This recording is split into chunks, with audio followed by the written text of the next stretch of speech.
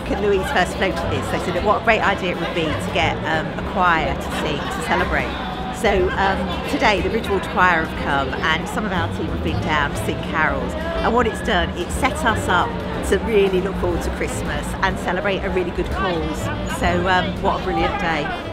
Yeah, it went really well. They warmed up with 12 Days of Christmas. uh, lots of running around and jumping up and down. So yeah, it was good fun. And a few people from the offices kept, you know, pressing their nose up against the, the windows right up there. Yeah. And people came down and joined in.